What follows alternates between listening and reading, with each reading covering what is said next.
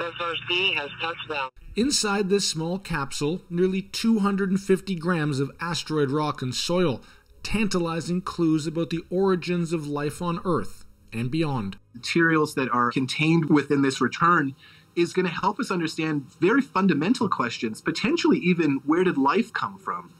The nearly unprecedented sample came from the asteroid Bennu, similar scientists believe to the asteroid that crashed into Earth during the planet's formation. We'll be looking for carbon bearing minerals, we'll be looking for organics, amino acids, the building blocks of life, as well as evidence that there was hydration in the past on Bennu's surface, because all of these things are the sort of materials that were delivered to Earth that helped life flourish here.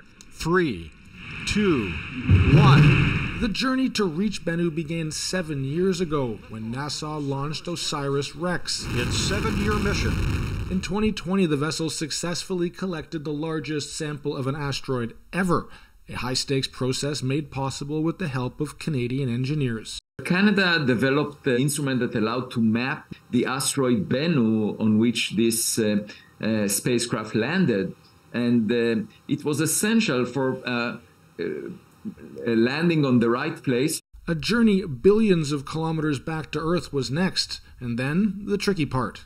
The capsule was dropped from 100,000 kilometers above the Earth's surface, where it rocketed through the planet's atmosphere.